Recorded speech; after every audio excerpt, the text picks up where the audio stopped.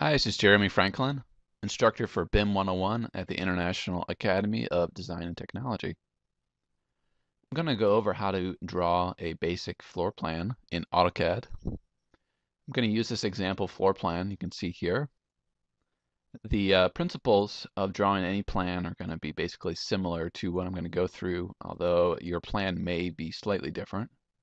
Obviously, your dimensions could be a little different, or the plan could be entirely different, but the ideas of how to use the commands and tools in AutoCAD to draw the plan are going to really be basically about the same. Generally speaking, it's going to be easiest if you're given a plan like this to draw to start with the outer perimeter and then kind of work your way to the inside and to the details. So you'll notice that my dimensions here for the outside of this plan are 20 feet by 18 feet. So I'm going to use that as a starting point and draw a simple box and then work toward the interior of the plan from that. Now before you start drawing anything in AutoCAD, you want to make sure that your units are set correctly so that as you input feet and inches, AutoCAD understands the dimensions that you're giving it. If you have any doubts or if you need to check the units, uh, it's easy to do uh, by simply typing units at the command prompt. U-N-I-T-S and then space or enter. You can see how my units are set to architectural for the length type. That's what we want if we're going to be inputting feet and inches in architectural format.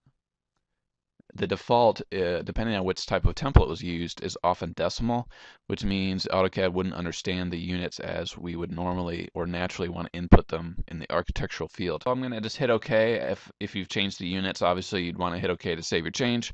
Uh, otherwise, you could cancel if you didn't. The other thing to make your uh, form your interface a little easier is at the bottom where you have your row of ortho, polar, grid, etc.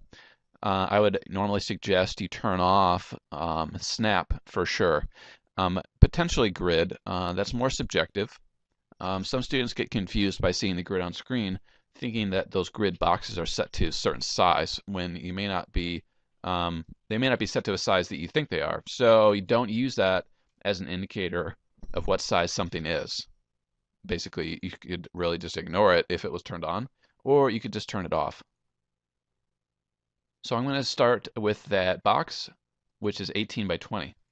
I could draw that as a rectangle, or I could draw four lines. Uh, either one. Again, there's a lot of ways to solve various drafting problems in AutoCAD, not always a right way and a wrong way, because there's sometimes 10 ways that all would get you the same accurate solution.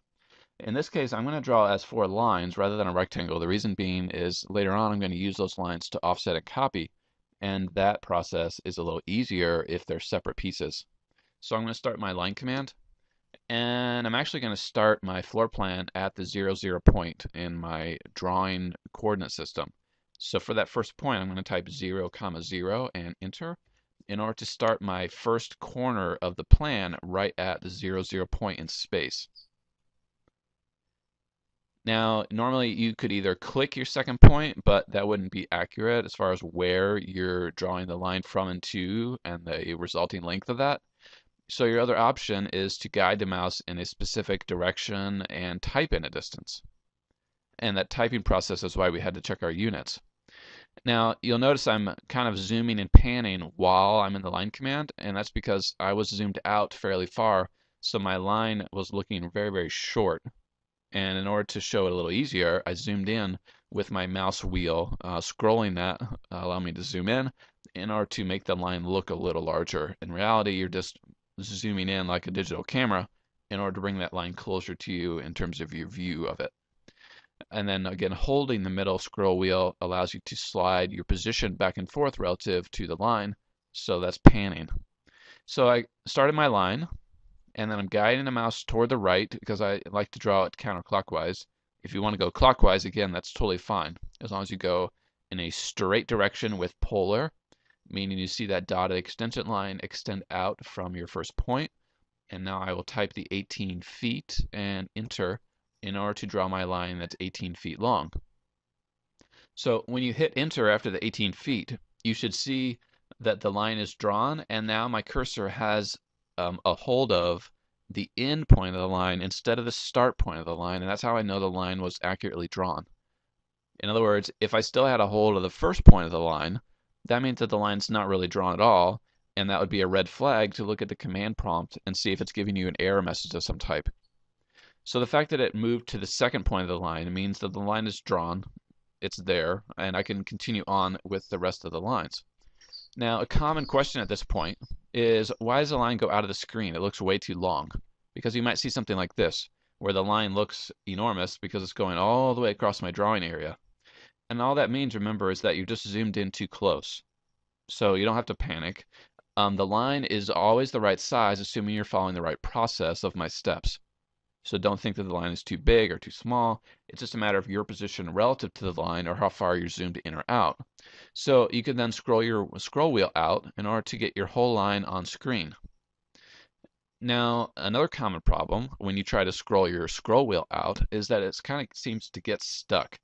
In other words, it won't zoom out as far as you wish it would, so that you still can't see the whole line on screen.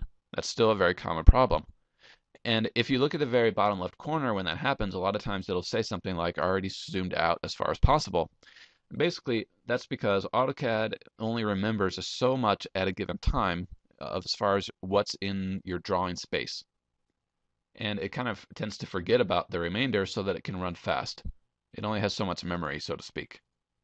So sometimes you have to tell it to basically refresh or reload its memory in order for it to allow you to zoom out or zoom in farther. So if your mouse wheel starts to kind of get stuck when you're zooming and it's not doing what you want, there's a couple solutions. Both of those solutions um, is probably going to be easiest if you exit the line command. So I'm going to hit escape for a minute.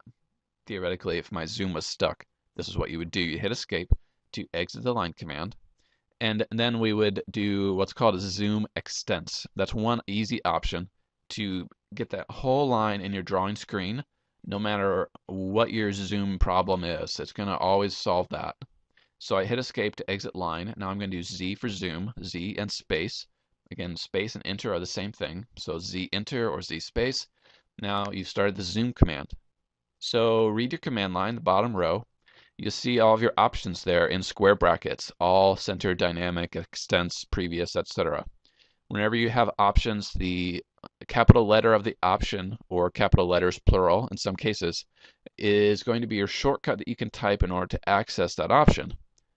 So I hit Z space, and now I want extents. So I'm going to do E space, and it will instantly zoom to show the largest objects in your drawing window. That could be a mile long building, or it could be something the size of a, a, penny. It will zoom to show that object as large as it can in the window that you're working in. So if your line is not fitting, it will instantly fit.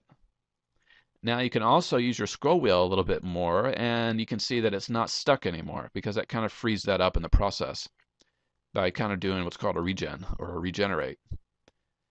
So your other option, if you didn't want to zoom extents, was just to force a regenerate or a regen. It's kind of like reloading a website in a way. It's going to force AutoCAD to kind of refresh its memory in the sense of what's on screen. So if you wanted to do that, you just type RE. So I didn't really need to do that because I already did zoom extents. But my point is you can do either one of those when your mouse wheel gets stuck, and that will usually get you out of the problem. RE or Z space E space in order to do a zoom extents. All right, so now back to drawing lines. Now, if you didn't have any zoom problems, then your line command would have stayed active and you could have just continued your other three lines around the drawing or around the perimeter of the building. In my case, I exited, so I'm going to start another line command with L space. Now, I want to start this next line at the end point of the previous line. So it's very important that I'm accurate with that. So I want to have my O snap button turned on, object snap, so that when I click here, you can see I'm getting the endpoint of this previous line by the little yellow square and the word endpoint. Your square might be a different color. So I clicked then, and now I have perfectly grabbed the endpoint of that line. I can guide my mouse in an upwardly direction, and I'm going to type 20 feet. Again, that comes from that PDF plan that I originally showed you. 20 feet and enter. Again, it's gone out of the drawing window, but it's going to be a little bit easier to maneuver your way around now that you have your zoom set somewhat close to where it needs to be. All right, so now I'm going to continue my other three lines around. So I'm going to guide my mouse to the left 18 feet, enter, and then I can either guide my mouse down and type the 20, or I can just click the first endpoint, and that will accomplish the same thing.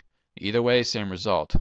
Now I'm done with the lines for right now, so I'm going to hit escape, and now I've exited the line command. So that's the basic outside perimeter of my plan.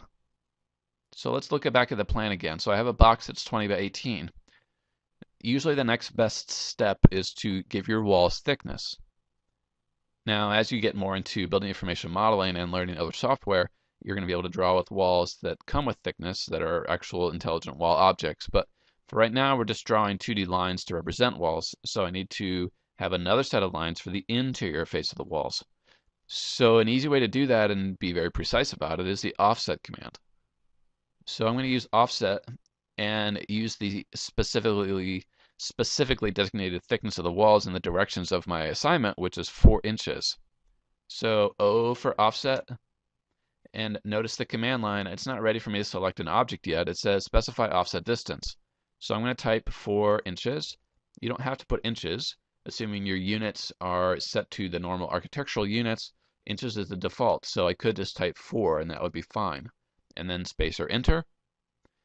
Now the command line says select object to offset, so which line? Well, I need to do all four of these, but it doesn't really matter which one I do first, so I'm just going to pick the top one. And now it says at the command prompt, specify point on side to offset. So do I want that line to go up or down? Well, if you look at the PDF, the dimension of 20 feet and 18 feet goes to the outside of the plan. So if I were to offset that line up, I have just exceeded the 20 feet because you know the 20 feet is what I originally drew. So I want to make sure that I'm offsetting toward the interior of the plan. So I'm going to click below that line. So now the thickness is going to the proper side compared to the dimension on the plan that I was given.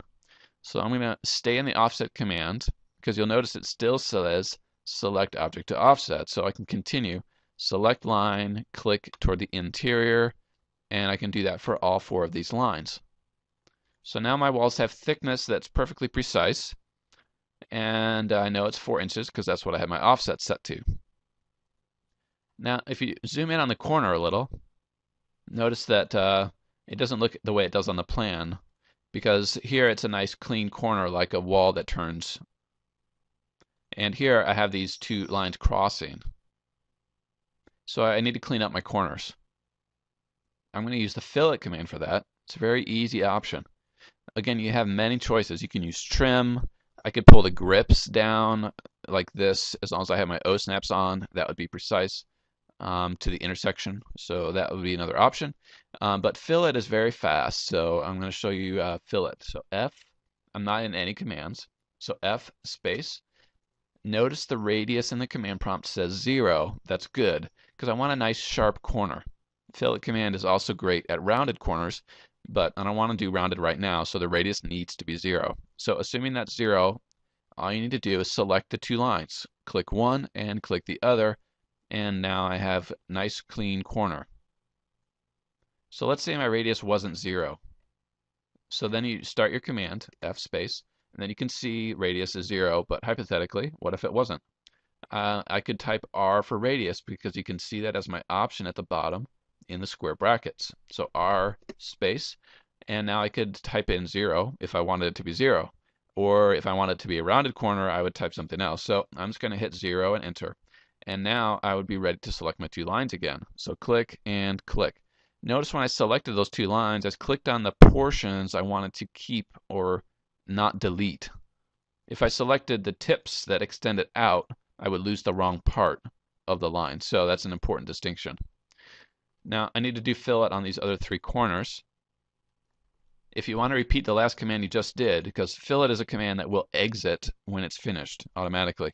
Not all commands will do that. So I want to repeat the command again. I could hit F and space, or if you just hit space, enter, or probably right click, it's going to repeat the same command you just did. I say probably because it depends on whether your CAD is set up the same way as mine. Um, right click will often repeat your last used command as well. So now I have those four corners looking nice and clean.